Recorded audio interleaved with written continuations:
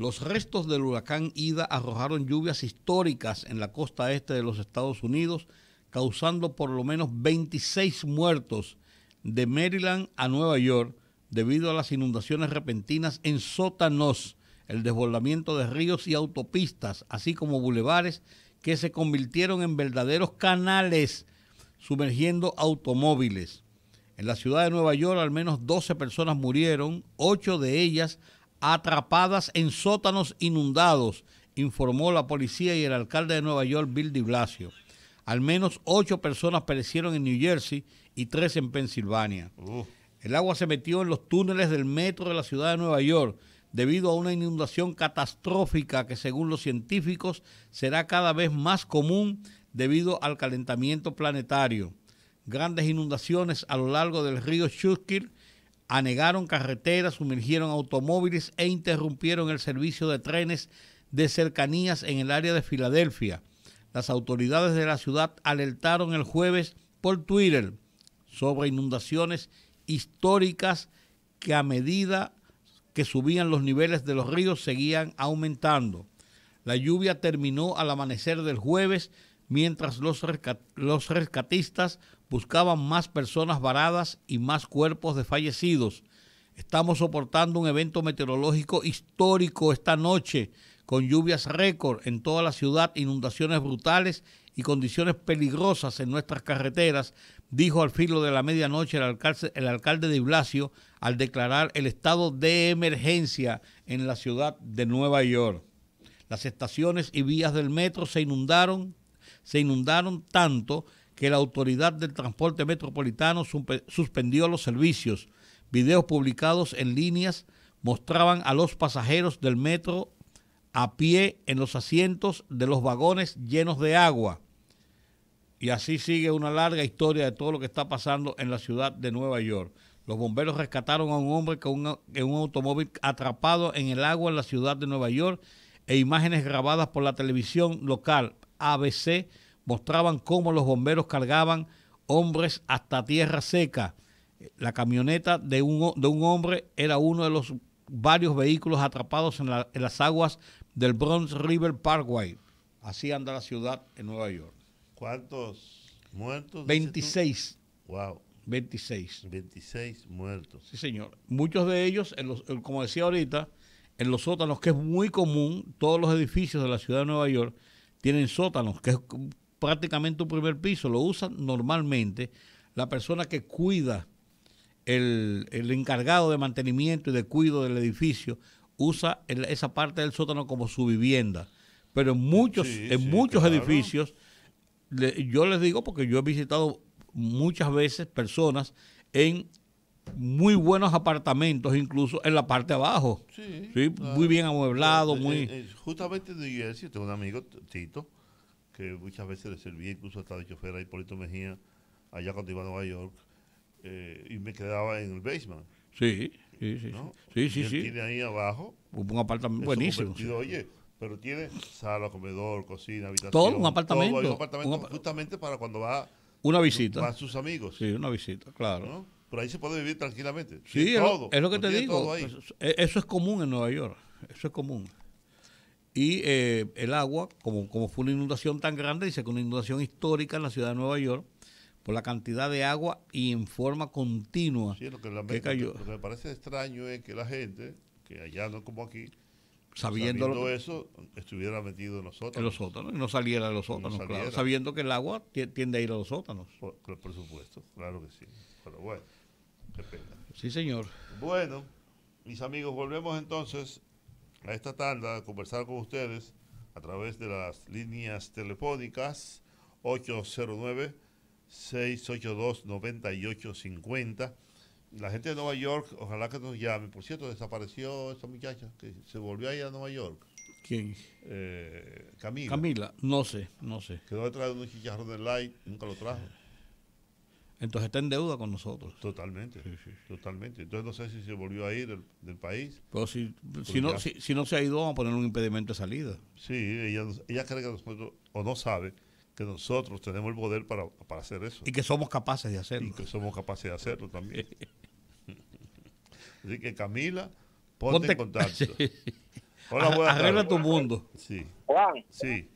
el señor que llegó a la lotería, llegó con un aguaje. La lotería a partir del 30 de julio va a quitar todos esos sorteos que no tenemos que estarle pagando. O los quitamos, me voy yo. Mentira, aguajero, te tumban el pulso. Bueno. No sé de eso. Buenas tardes, don Giorgi Rodríguez. Aquí otra vez de nuevo. Llegó el número 10. Sí, Aló, buenas tardes. sí, buenas. Yo estuve escuchando ahorita, don, Tú podías entrar sin eso. de, de los motoristas que usted dice que no pueden transitar en el Piantini. Ajá. Pero ¿y cómo un motor que un motorista que es su fuente de transportarse va a transitar? Aquí hay cosas que tienen que caerle más arriba que, que al tránsito de un motoconcho. Está bien de que un motoconcho esté sospechoso y se le dé seguimiento. Pero, Pero yo no hablé de. Señor, yo no dije motoconcho. Yo me refería a los motores de alto cilindraje, que son los que escapan rápidamente. Y, eh, Pero aquí andan unos sonatas atracando a todas horas de la noche y... está y- bien, señor, siga atracando, hagan lo no que hace quiera, a mí no me importa. Buenas, Buenas tardes. tardes.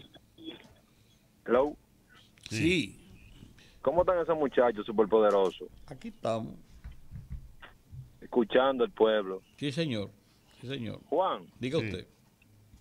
Yo yo escuchando a los PLDistas, principalmente a, a la señorita de, a- de- los dienticos separados, la esposa de la ex de Leo. Ellos no se dan cuenta que el pueblo es lo que le coge más odio cuando ellos salen a hacer declaraciones así. Porque ellos, ellos no sé, ellos, ellos piensan que nunca han gobernado. ¿eh? El pueblo es lo que le coge más. Ellos tienen que cogerlo más suave porque cualquiera que lo oye ellos, ellos dicen, no, esta gente nunca ha gobernado, quieren, quieren gobernar el país. ¿Que cuánta delincuencia hay ahora? Por esa delincuencia la dejaron ustedes. O ellos se lo olvidó, fue. Lo sigo escuchando. Bueno. Hola, buenas tardes. Buenas tardes, don Giorgi, Sí. Rudy, Juan TH, Sí, Sí. los superpoderosos. Fíjese una cosa. Si ustedes eh, analizan la situación histórica de este país en los 80, en los 90 y a finales de los 90, póngale 2005, aquí los militares era muy difícil meterse en problemas. Esa situación comenzó a partir del 2006 en adelante. E inclusive, yo fui a una funeraria, a Sabica, usted sabe dónde están, en la Patel, Mm. y yo pregunté, ven acá, y ya aquí no dan servicio de guagua. Digo, no, porque hay una banda que cuando van a los entierros se suben en la capote de la guagua y van con motores, y las funerarias dejaron de darle servicio. La Altagracia, ninguna funeraria da servicio de guagua en virtud de esa situación, porque con la juventud comenzó a descomponerse a partir de esa época y hasta la, hasta la fecha. Entonces, eh, en el programa del mediodía de Guido, entrevistan a un señor del comité político del PLD. Oye, pero ese, en la forma que ese señor habló, parecía como que, como que no había pasado nada, como que el PLD no había hecho nada, eran honestos y gobernan el país a beneficio del pueblo. Y esta gente, principalmente ese, ese FUPU, el FUPU, qué sé yo, Leonel cree como que aquí la gente como que no, como que olvida tan rápido. Y él cree que va a gobernar aquí. Gober- Leonel Fernández no va a gobernar jamás en la vida de este país. Muchas gracias. ok, bien. Giorgi. Sí, buenas tardes. Bueno, integrándome un poco tarde, compromisos que tenía, que no podía faltar, pues me impidieron estar aquí desde las 5, como siempre. Me hiciste falta, no te preocupes. No, yo sé que no. Ni ustedes tampoco me hicieron falta. Lo sabemos. ¿De qué recíproco? Sí. Buenas tardes.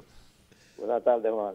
Sí, diga. Juan, cuando yo siempre, yo siempre estoy de acuerdo contigo y no me pagaste coba. Revísese si usted siempre está de acuerdo con Juan. Sí, siempre, porque a ¿Acaso? mí me gusta el hombre que diga las cosas como son y me gusta la forma de Juan y le digo que no tengo que darle coba porque yo oigo a Juan desde que estaba en la casa vieja, pero muy vieja. Entonces, ¿qué sucede con eso? Eh, cuando usted está hablando ahorita de los senadores, también los diputados. Tú sabes lo que es que yo trabajé 40 años con una sola familia y soy pensionado ganando 8 mil pesos mensuales. Y esta gente con cuatro años sale todo esos cuartos. Oye, es un abuso, es un verdadero abuso, un atraco. ¿Cómo se siente uno que trabajó 40 años, bajado trabajando, manejándole a una persona? Para hoy está cobrando eh, 8 mil pesos, que eso no me da a mí para comprar un medicamento y, y estos vagos ahí, porque son vagos toditos, co- cobrando una cantidad de dinero que, que, que la verdad que no se lo, que no se lo merecen. Pasen buenas tardes. Buenas tardes. Buenas tardes. Ahora aquí. Hola, buenas tardes. Va a pichín el mi- el mío. Sí, buenas tardes. Eh, la creciente ola de atracos eh, que no sé cómo eh, se ha incrementado en las últimas semanas, a pesar del trabajo y el esfuerzo que hace el Ministerio de Interior y Policía y el mismo gobierno. Eso me llena de suspicacia, porque eh, eso no se había visto. Seis motores eh, formando una banda, atracando en, en- en zonas residenciales. Eh, óyame, el gobierno y el ministro de Interior debe ponerle asunto eh, a, ese, a esa situación, porque pudiera, pudiera estarse pescando eh, en ríos revueltos en ese sentido. Bueno. Mira, eso es cierto. No, no quiero caer en el campo de, de la especulación, pero eh, ciertamente en los últimos días se ha incrementado la delincuencia, los asaltos, los atracos. Andan cuatro y cinco motoristas de a dos por motor atracando la barriada de San Jerónimo, aquí eh, por la Detrás de Núñez los- de Cáceres. de los Prados. Por la Núñez de Cáceres. Dice la gente que no se puede salir a la calle de noche.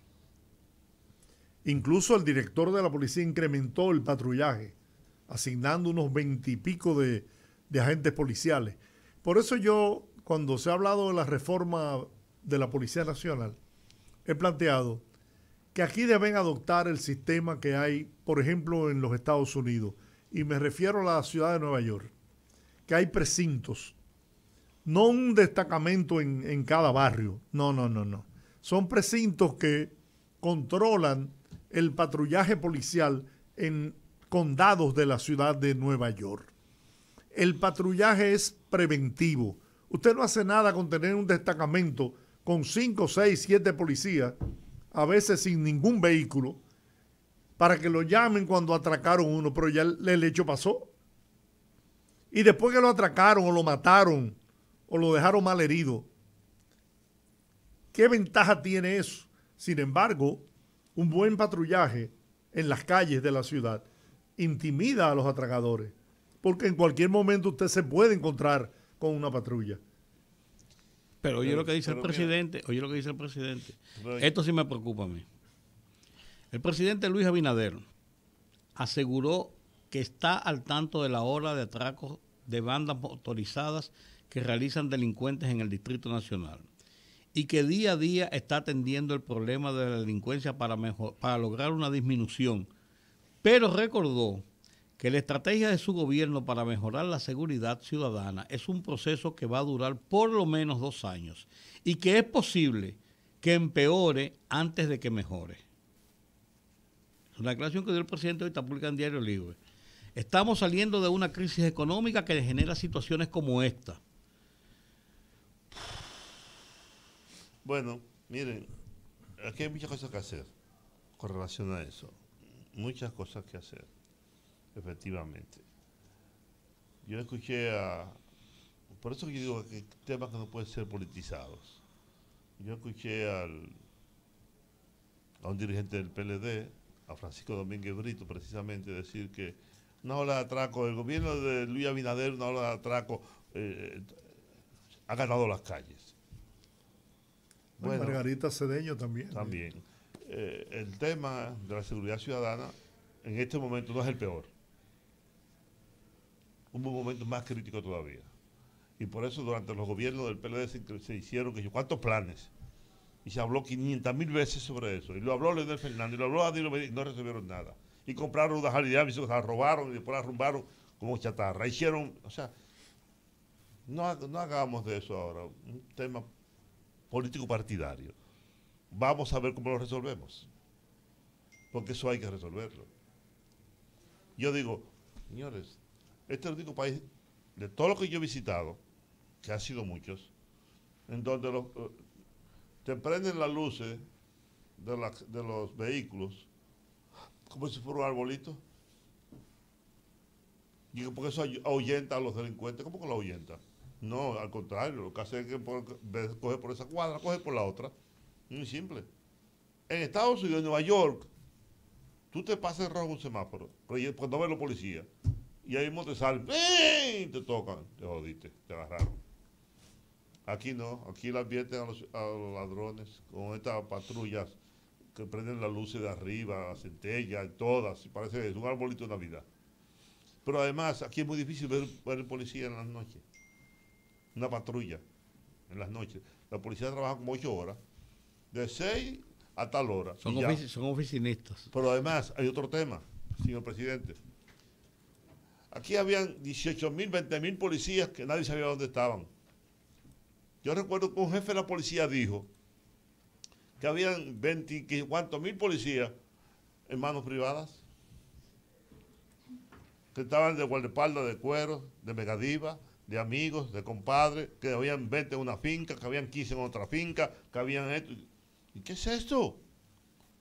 y que a un general retirado salen cuatro, cuatro de seguridad, cuatro policías. ¿Pero por qué? Todas esas cosas. Vamos a poner a trabajar todo el mundo. ¿Mm? Son muchas las cosas que, hay que hacer. Y con las bandas motorizadas, eso sí hay que prestar atención. Mucha atención. Una cosa es raterismo. Los, como dicen ahora, los descuidistas tipo que está acechando, si tú tienes la cartera mal puesta, si tú estabas, eh, dejaste en un vehículo una, una laptop, te rompe el cristal, se la lleva. Ese es. Y otra cosa son las bandas, bandas, bandas motorizadas. Que a eso hay que prestarle muchísima atención. Porque en Haití las gangas son las que mandan. Y aquí no pueden mandar las bandas. Ni motorizadas, ni a pie, ni de ningún tipo. Entonces, hay que partir el pescuezo, se lo partimos. Digo yo, Juan TH. Buenas tardes.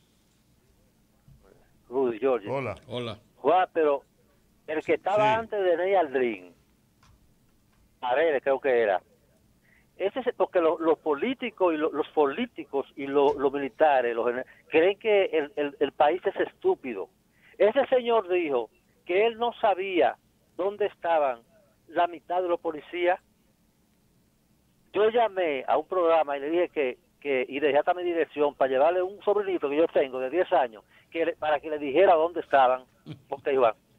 Ok, bien. Aquí ahora. Sí, buenas tardes, Juan, todos. Buenas. La verdad que eso de esos atracos tiene cocorica. Cuando yo veo a Margarita, a Domingo Brito y muchos periodistas llamados bocina que tienen cinco y seis policías cuidándolo, entonces eso hay que tener mucho cuidado. Al gobierno que se cuide, que esta gente tiene tanto cuarto que dan para todo.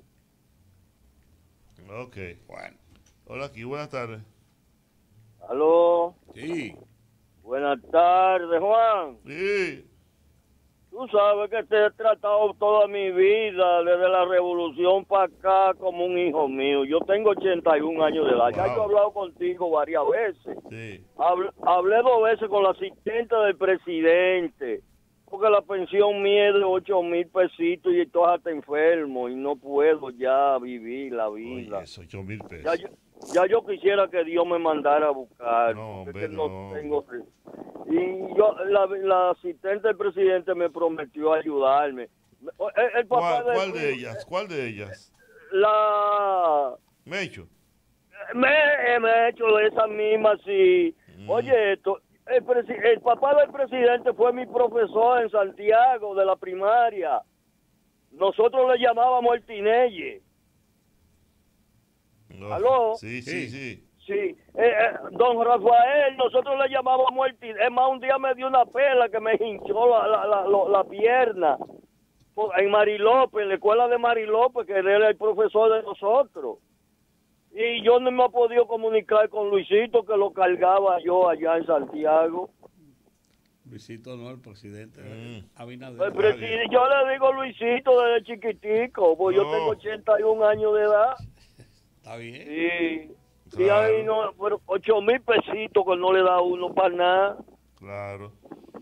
Y somos 400 mil y pico que votamos todos por Luis Abinader, todos los veteranos, todos los pensionados y veteranos. Bueno. Ah, algo por mí, Juan, por mí no, por nosotros. Está bien, cómo no, claro que sí. Dios que, que Cristo Jesús te bendiga. Bien, gracias. Gracias. Bien, vámonos aquí ahora. Buenas tardes. Buenas tardes a los poderosos.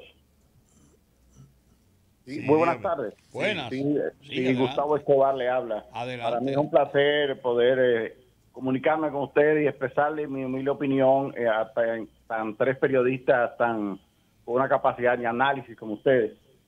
Y me refiero al caso de que estaban tratando ahorita que escuché del asunto de la seguridad ciudadana. Yo creo particularmente Sí, díganos. Hola. Está ahí, está ahí, está ahí. Está ahí. Vamos a esperar que vuelva entonces. Sí. de que no podemos Sí. esperar reformar una policía que es el aparato, el aparato represivo, vamos a llamarle así, o del orden, para nosotros empezar a tomar medidas para resolver el problema de la delincuencia. Si eso es así, y eso es lo que se está pensando, porque yo creo que deben tomarse medidas paralelas a la reforma de la policía, porque realmente el problema de la delincuencia ya ha llegado a su tope en el país. El con el asunto de los motores, es- hay medidas tan sencillas que se pueden tomar y que yo sé que las- los, los organismos que tienen que ver con la seguridad, tienen, lo- los motoristas, es como decía Juan Teacho ahorita, no hay, no, hay, no hay motivo por lo cual un motorista o dos personas extrañas en un sector residencial estén circulando a tal hora de la noche. Claro. O sea, yo, Claro, así mismo es.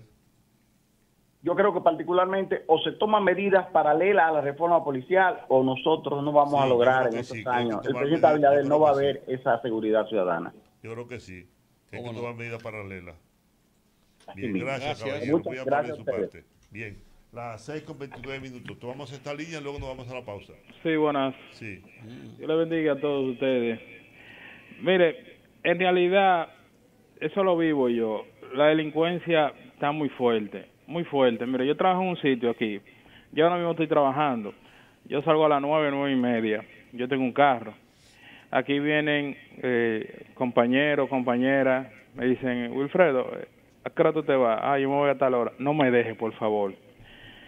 Eh, Eso aquí es la zona oriental.